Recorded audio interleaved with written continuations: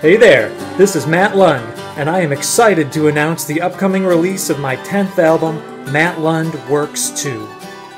Matt Lund Works 2 will be released on Friday, November 18th at a special concert taking place at Middle Tennessee State University.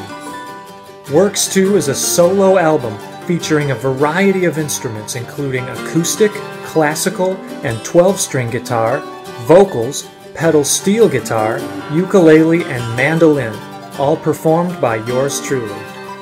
The album includes songs recorded this year at the Tracking Room in Nashville, Tennessee, as well as four songs I recorded for my wife Shauna's birthday four years ago, and one song I recorded right before our wedding seven years ago. Works 2 is the sequel to an album I released 10 years ago called Matt Lund Works.